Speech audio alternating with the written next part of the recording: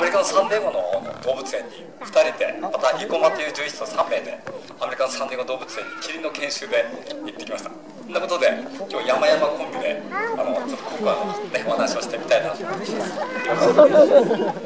のココアねちょうど今6歳っていうことなんですけど5月24日があの6歳ですね。ですから私も一番強烈に覚えてるのがやはりこの大河とココアでないかなと思ってます。